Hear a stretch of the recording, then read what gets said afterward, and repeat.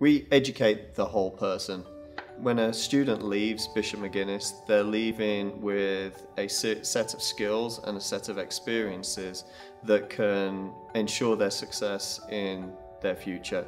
Educating the whole person means that academically they're prepared, but all those other things that ensure that people make the right decisions, are good citizens, those are the things that students will remember Bishop McGuinness for.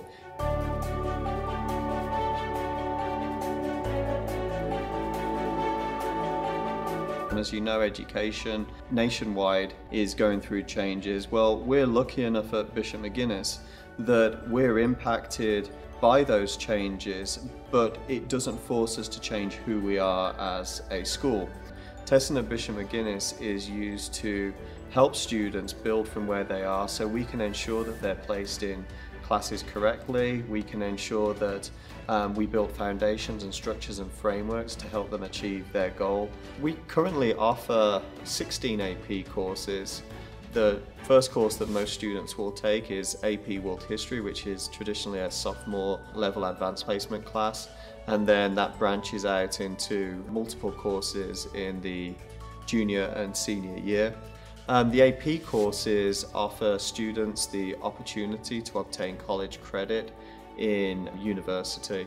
More importantly though, what it gives is the opportunity for very talented instructors to interact with students who are very motivated to do well. You know, the majority of our teachers hold um, advanced degrees. Most of our teachers are constantly going to professional de development to improve um, their instruction and improve their pedagogy. Um, every single week we have professional development built into our schedule to ensure that the students that are walking the halls of Bishop McGuinness are being given instruction by teachers who are not just teachers, but they are students themselves. So if we're looking at, you know, academically and you look at the research, a school of 720 is an ideal size to be small enough to have the individualization that is needed for our students, but large enough to offer the large range of extracurricular activities that we do that again serves all those students and serves their individual needs. This is not an athletic school, this is not a school in which we are driven by extracurricular activities.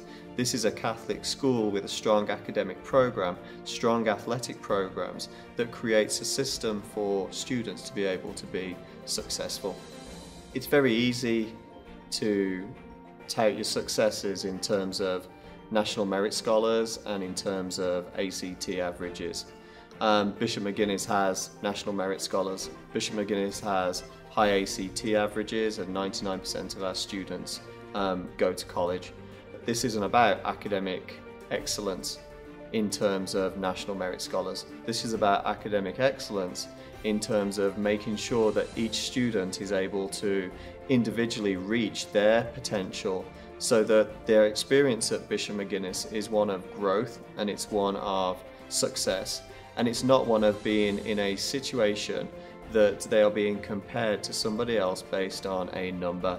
Um, I live in Norman and I teach adjunct at OU and I see our students and I see them on a weekly basis. And when you ask them, are you academically prepared? They say absolutely yes. They say absolutely this school prepares you for the academic rigour of a college.